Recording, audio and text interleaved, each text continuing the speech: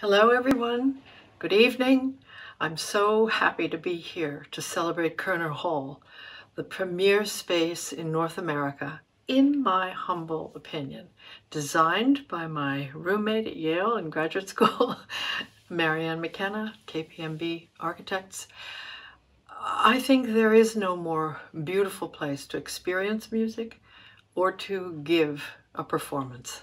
I've, I've done both. I was lucky enough to, every time I'm in Toronto, I go to the Koerner Hall to listen and I've even performed with the Takács Quartet there.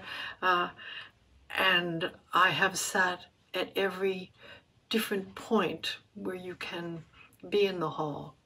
And I think it's, uh, it is unique in the world. The warmth of its sound, the perfection of its size, the embrace of the room, and of course the warmth of the the audience helps. The toronto audience is extraordinary and it's giving something to the whole world everyone who's lucky enough to come to toronto and experience koerner hall. So i'm so happy to be here to encourage you to support these art institutions through the pandemic. We're going to get the other side of this.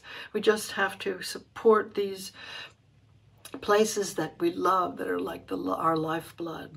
More than ever more than ever we need the arts. We need the ineffable solace of music. So thank you for supporting Koerner Hall and have a great evening